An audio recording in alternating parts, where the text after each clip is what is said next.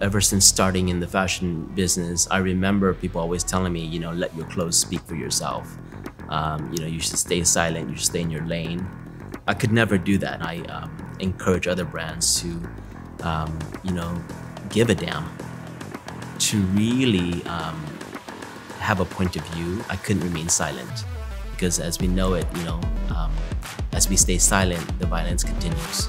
Just lean in find it within yourself to um, to give yourself permission as a stakeholder in society because you are part of society. Influence your friends your colleagues your family for good. You know if you witness or you bear witness to injustice uh, say something. Stand up.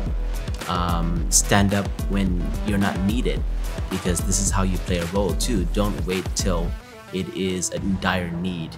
The violence will not end unless the silence does. We all have a, a megaphone. No one is too small